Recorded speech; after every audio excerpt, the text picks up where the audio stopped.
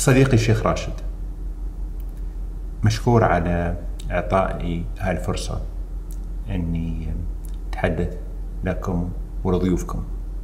متمنيا النجاح والتوفيق لأعضاء اتحاد الإمارات لكرة القدم. وأن توظف مخرجات هذه الخلوة في وضع استراتيجية أكثر تقدما وأملا لكرة الإمارات. ثمن عاليا الجهود اللي يقوم به الاتحاد الدولي لكرة القدم الفيفا. بالإضافة للدعم المستمر المقدم من الفيفا إلى اتحاد الإمارات لكرة القدم طوال الأعوام الماضية.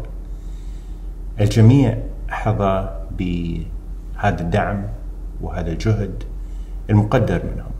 يمر العالم اليوم في تحدي صعب من خلال تفشي جائحة فيروس كورونا. مما جعل كافة دول العالم تراجع أولوياتها قراراتها هنا أود أن أشيد بالقرارات الموفقة التي اتخذها اتحاد إمارات كرة القدم.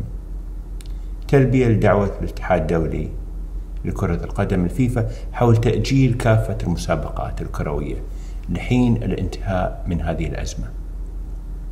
وهنا أذكر قول الجاني أنفنتينو أن الأولوية الآن في العالم لصحة البشر من أجل الحفاظ عليهم من تفشي كورونا المستجد. تتطلع دولة الإمارات للاحتفال بمرور خمسين عام على تأسيس اتحاد الإمارات لكرة القدم خلال العام المقبل. مما يدعو إلى أهمية تكاتف الجهود وتكثيفها من أجل ارتقاء مستوى الكرة الإماراتية.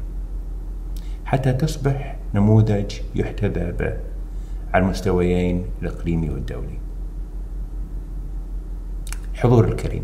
من خلال تجربتي المتواضعة في رئاسة اتحاد الإمارات لكرة القدم مرت كرة القدم الإماراتية بالعديد من التحديات إلا أنه بتكاتف الأندية المسؤولين اللاعبين ودعم الجميع ومتابعة حثيثة من قبل القيادة. استطاعت كرة الإمارات تحقيق نقلة على كافة المستويات ولكننا نتطلع المزيد مزيد من النجاح خلال الأعوام القادمة. وأنا على ثقة أن زميلي الشيخ راشد وفريق عمله قادر على تحقيق آمال وطموحات كرة القدم الإماراتية.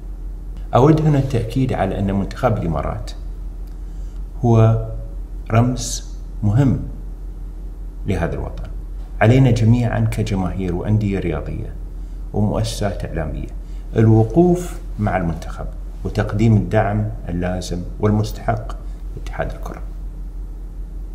أتمنى التوفيق والنجاح للأندية الإماراتية في الاستحقاقات الكروية القادمة أيضا لأن أيضا نرى فيهم ومن خلالهم تطوير للأندية تطوير للمنتخبات وتطوير لهذه التجربة الرياضية. سيدات والسادة أود أن أؤكد على أهمية استمرارية التواصل والتشاور بشكل دائم بين المؤسسات الرياضية في الدولة. كاللجنة الأولمبية والهيئة العامة للرياضة والمجالس والأندية الرياضية يجب على الجميع العمل معا والتكاتف من أجل مستقبل كروي أفضل. الجميع يتمنى من أعضاء اتحاد الكرة الإماراتية الاهتمام بتأهيل كوادر إماراتية.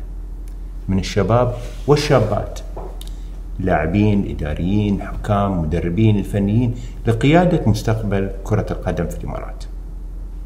فالكوادر الوطنية هي غاية ومهمة وهي التي ستنهض بكرتنا. لكن هذا لا يعني ولا يمنع من التفاعل مع المحترفين الأجانب. الذين يجب أن نحرص على نقل خبراتهم لنظرائهم في الإمارات.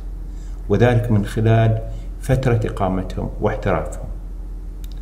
هم ضيوفنا وعزاء ومكرمين. على الإعلام الإماراتي القيام بدوره المحوري في نقل الصورة الحقيقية لما يحدث في كواليس كرة القدم دون مجاملة أحد دون تشهير دون الإساءة. كنا نطلع أن يكون الإعلام الإماراتي شريك مساند لكرتنا في مختلف الأوقات والمناسبات. الأخوة والأخوات عندما سعينا كاتحاد كرة قدم خلال فترة تشرفي برئاسته بالدفع نحو تطبيق قرار إعادة اللاعبين الأجانب. كان الهدف الاستفادة من خبرات هؤلاء اللاعبين. رفع مستوى اللاعبين الإماراتيين عبر الاحتكاك. رفع مستوى الدوري الإماراتي ليكون دوري أفضل على المستوى الخليجي وعلى المستوى الآسيوي. ويضعنا في طريق أوسع من التنافس. استطاعت الأندية الإماراتية استقطاب أسماء عالمية لا شك. تركت بصمة في الدوري الإماراتي على مر السنوات. كما منح الدوري الإماراتي الفرصة أمام العديد من اللاعبين الأجانب المتميزين للانطلاق بمسيرتهم الاحترافية. نحو أرقى وأهم الدوريات العالمية. ما يزال على اللاعب الإماراتي والأندية واتحاد كرة القدم بذل المزيد من الجهد ومضاعفة ذلك لتطبيق الاحتراف وتبادل الخبرات مع الأندية والدوريات العالمية. وهو تحدي يقع على عاتق الجميع دون استثناء. على الصعيد الدبلوماسي يقوم فريق الخارجية وبعثات الدولة في الخارج لتقديم كافة أشكال الدعم لاتحاد الكرة الإماراتي والمجالس الرياضية والأندية خلال مشاركاتهم الخارجية. أدعو هنا الأندية واتحاد الكرة إلى أن يتقدموا لوزارة الخارجية بمجموعة من المقترحات والتوصيات التي من شأنها تعزز من مفهوم الدبلوماسية الرياضية حتى يتسنى لنا العمل على بلورة هذه الأفكار بما يعكس توجهات وتطلعات الأندية واللاعبين وقيم مجتمع الإمارات. أود التأكيد على أهمية الرياضة بشكل عام وكرة القدم بشكل خاص